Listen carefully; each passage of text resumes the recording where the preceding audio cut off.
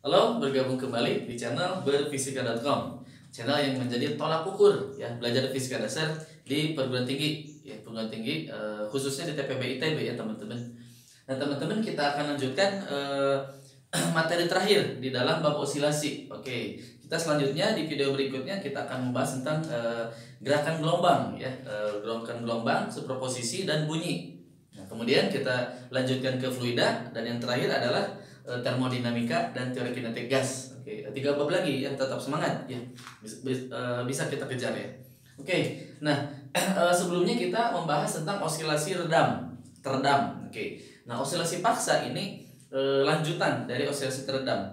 Nah, jadi kalau misalkan eh, kita sudah tahu kemarin eh, grafik dari osilasi teredam itu kan seperti ini teman-teman. Nah, eh, grafiknya dia berosilasi ya, ber, apa eh, gerakannya osilasi ya teredam, namun dia eh, amplitudenya semakin eh, berkurang teman-teman ya, secara eksponensial, gitu ya. Ya kemarin kan, jadi yang ini adalah a e min eh, bt per 2 m kalau nggak salah. Oke, eksponensial. Begitupun dengan energinya ya, energi dari oh, ini mah x t ya. Nah begitupun dengan energi terhadap waktunya eh, dia menurun secara eksponensial ya e nya e pangkat minus. Minus eh, ini bt per m bisa gitu ya. Nah eh, untuk meminimalisir atau untuk eh, menjaga agar energinya tidak hilang berarti dibutuhkan suatu input teman-teman. Input energi ya. Jadi di dalam sistem ini kan eh, energinya berkurang ya. Sistem ini e menurun. Menurun secara eksponensial. Nah, agar sistem ini energinya konstan, berarti harus ada, tambahan eh, energi dari, dari luar, ya. Yaitu dengan cara kita melakukan sebuah gaya ya eksternal ya. F eksternal ya dari luar yang menyebabkan eh, ada energi input, E input. Nah, sehingga keadaan sistemnya tetap setimbang. Maksudnya eh, energinya tidak berkurang, tetap terjaga gitu ya. Nah, Contoh kasusnya ini adalah eh, misalkan sebuah ayunan gitu ya teman-teman. Ini ada sebuah ayunan, oke. Nah seperti itu. Nah sebuah ayunan ini eh, dia kan dia kan akan berayun teman-teman ya. Nah akan berayun gitu eh, dengan frekuensi alami. Frekuensi alaminya omega 0 itu adalah eh, K per M. As- asumsikan pegas dulu aja ya. Ini asumsikan pegas. Eh, nah K per M Nah, berarti harus ada sebuah gaya eh, eksternal ya. Atau kalau ini kalau apa namanya? Eh, kalau bandul kan bukan K per M, jadi akan L per G ya. Eh, G per L, sorry. Kalau bandul. Nah, seperti itu ya. Nah, berarti ada sebuah gaya, teman-teman harus ada sebuah gaya yang besarnya itu periodik, teman-teman ya. Yaitu kita misalkan F0 sin omega T. Seperti itu ya si gayanya yang ngedorongnya. Nah, eh, omega ini merupakan frekuensi dari eh, gaya penggerak gaya ininya ya. Gaya apa? Penggeraknya ya gaya penggeraknya. Jadi berbeda dengan eh, W0 kalau W0 itu frekuensi alami dari si osilator ya. Jadi omega 0 ini adalah frekuensi sudut ya. Frekuensi atau frekuensi sudut. Jadi kita singkat saja frekuensi tidak masalah. Beberapa buku jadi udah sebanding kan omega sama dengan 2 pf jadi eh, biasanya istilahnya disebut frekuensi. Frekuensi eh, alami osilator. Nah sehingga bentuk persamaan matematiknya kita akan peroleh teman-teman eh, f0 sin eh, wt oke min. Nah minus dari eh, misalkan eh, pegas ya pegas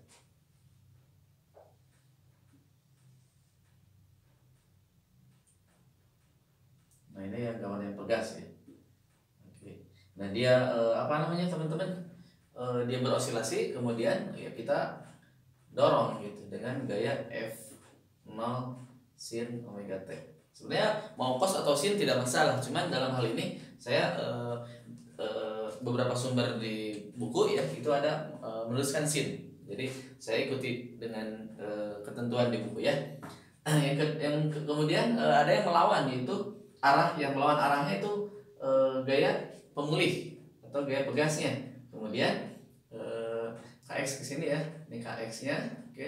Kemudian ini juga ada yang melawan juga BV ya. BV itu adalah e, gaya redamnya teman-teman ya. Min BV sama dengan MA ya sesuai hukum Newton ya. Oke kemudian kita lanjutkan F0 sin omega T min KX min B. Nah ini biasa kita bentuk e, semuanya ke dalam variabel X ya. Oke jadi D turunan kedua ya. Terhadap waktu. Nah, oke. Kemudian e, kita rapikan menjadi M D kuadrat X. dt kuadrat jadi positif ya. E, B dx per dt plus kx min f atau min apa e, plus f apa ini? 0 sin omega t sama dengan 0 seperti itu ya.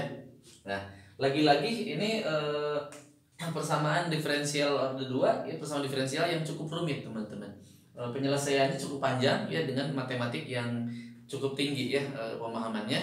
Eh, ada bilangan kompleks dan sebagainya ini biasanya dibahas di buku uh, sorry di mata kuliah mekanika ya analitik mekanika analitik nanti di jurusan fisika nanti ada ya teman-teman jika berminat silahkan mempelajarinya ya nah uh, di buku beberapa sumber ya di TPB buku fisika dasar uh, tidak tertarik untuk menyelesaikan ini gitu karena perhitungannya cukup rumit gitu. Jadi saya langsung uh, menuliskan uh, hasil akhirnya ya. Jadi perhitungannya kita lewati dulu. Oke. Okay. A cos omega t tambah fasa. Nah, seperti ini teman-teman. Jadi hasil akhirnya seperti ini. Jadi dia bakal tetap berosilasi teman-teman dengan amplitudo yang konstan teman-teman. Tapi jangan salah, A di sini e, ber, apa berbeda dengan nilai A.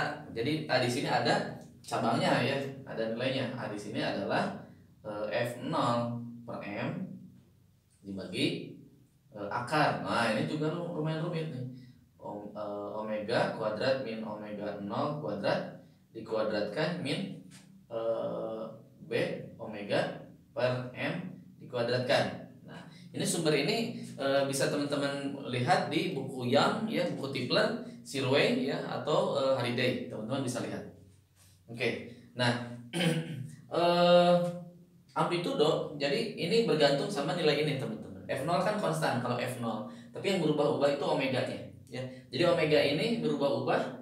Si omega apa ini penggeraknya berbeda dengan omega 0 uh, eh, osilator. Omega apa? Frekuensi alaminya konstan nilainya seperti ini. Nah, uh, kita analisis teman-teman dan uh, kita akan meninjau uh, bagaimana sih uh, amplitudo setiap waktu di uh, osilasi ter, osilasi terpaksa ini teman-teman. Yuk kita lihat. Saya hapus dulu ini ya. Nah teman-teman kita tinjau bagaimana kalau uh, grafiknya bentuk grafiknya seperti apa sih gitu. Ini uh, amplitudo ya hubungannya dengan frekuensinya seperti apa. Oke. Nah teman-teman kita bisa lihat kalau uh, gaya penggeraknya kecil, misalkan Eh, B-nya kecil atau gaya penggerak ini kan konstanta gaya penggerak ya B-nya kecil B-nya kecil nah kira-kira kalau B-nya kecil berarti kan benda ini kecil ini kecil berarti uh, ininya jadi apa? Jadi besar ya? Uh, sorry. Ya jadi besar eh jadi tetap gitu. Berarti kalau uh, B-nya kecil amplitudenya jadi gimana teman-teman? Jadi besar ya? Kalau ininya kecil uh, oh sorry. Uh, kita lihat pada keadaan resonansi. Uh, kita lihat pada keadaan resonansi ya. Nah di sini ya omega 0 jadi resonansi itu adalah pada saat frekuensinya sama ya. Jadi resonansi. Nah jadi kita akan belajar dengan resonansi. Resonansi itu kan peristiwa ikut bergetarnya suatu benda ya akibat e, getaran benda lain gitu. Dan frekuensinya itu sama atau kelipatannya. Biasanya sama ya teman-teman. E, jadi yang diambil yang samanya gitu. Nah pada saat ini berarti frekuensi resonansinya omega nya sama dengan omega 0 nah ini teman-teman. Nah berarti kita lihat e, amplitudenya seperti apa pada saat di eh, resonansi ini. Nah, pada saat P-nya kecil, nah, kalau amplitudenya sama berarti ini nol, ini nggak ada ya. Nah, berarti e, ini hasilnya kecil, sesuatu di bagian kecil jadi besar nanti ya. Jadi amplitudenya jadi besar. Nah, gitu ya.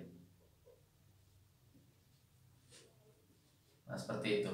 Jadi kalau redaman sangat kecil, berarti amplitudonya besar, teman-teman. Amplitudo, amplitudo eh, apa namanya? Amplitudo si osilasinya kecil. Dan kemudian pada saat B-nya besar, teman-teman. Pada saat B-nya besar atau gaya hambatnya besar. Nah, gaya hambatnya besar bagaimana ke sini? Kalau gaya hambatnya besar, berarti ini e, besar nih.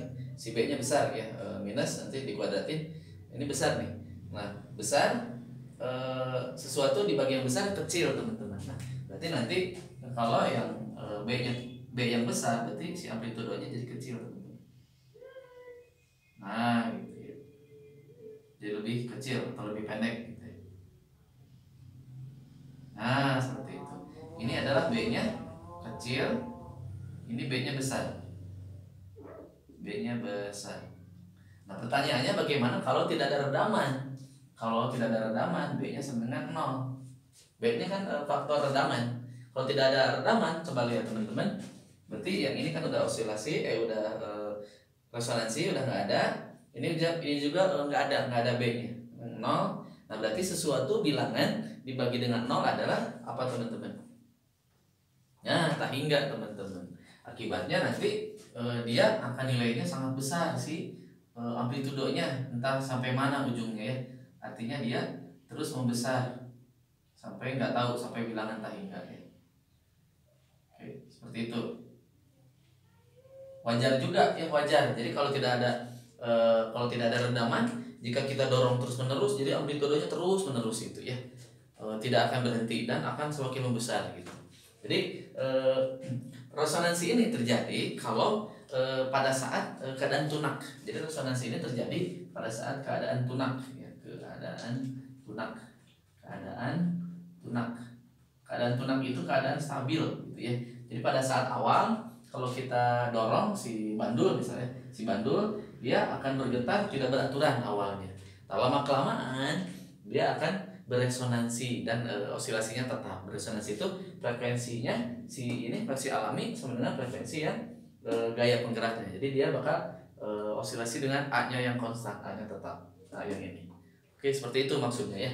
Jadi pada saat di sini dia beresonansi nah kenapa di amplitudo yang cukup besar ini e, energinya juga makin besar? Kenapa? Teman-teman bisa kita analisis e, kalau ini a kecil a besar A besar. Kalau A besar berarti A nya kecil. Teman-teman bisa lihat dari uh, turunan dari sini. Turunan ini kan uh, jadi uh, minus ya. Turunannya jadi V nya jadi min WA uh, sin. Omega T ditambah fasa oke okay? uh, kita akan analisis energinya ya nah uh, ini minus uh, cuma arahnya ya sedangkan daya itu kan F dikali V dot ya dan kita tahu F nya adalah sin teman-teman mana Nah, F-nya sin, oke. Okay. F0 sin. Nah, gitu kan. Dan V-nya juga sin, artinya sefasa. Gerakannya sama, sefasa. Sin omega T. Eh, sorry. WA ya, WA. Nah, artinya berarti ini bernilai maksimum, teman-teman. Bernilai maksimum energi eh, yang diberikan kepada eh, osilasi itu. Sehingga nanti kita eh, udah mengerti, udah paham, oh kenapa ini amplitudenya besar? Karena di sini e, sefasa si e, gaya dengan e, kecepatannya teman-teman.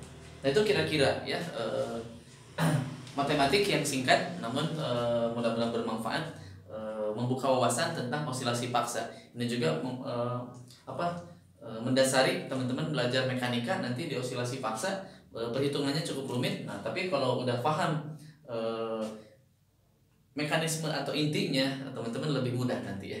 Nah, eh, osilasi fase ini banyak atau frekuensi resonansi ini banyak eh, apa banyak keuntungan atau eh, apa kerugiannya banyak ya. Kalau misalkan eh, keuntungannya banyak, eh, kerugiannya pun banyak. Teman-teman bisa lihat kalau kerugiannya eh, misalkan eh, si jembatan runtuh akibat angin. Nah, itu si angin itu eh, memberikan eh, gaya pendorong yang eh, memberikan osilasinya itu frekuensinya sama dengan frekuensi alami si jembatannya jadi jembatannya runtuh bisa seperti itu ya oke eh, kalau di alat musik banyak ya resonansi yang bermanfaat ya mungkin itu saja yang dapat saya sampaikan eh, dukung terus channel ini dengan cara klik tombol subscribe-nya. Jangan lupa share ke teman-teman semuanya. Sampai jumpa di lain kesempatan. Salam berfisika.com.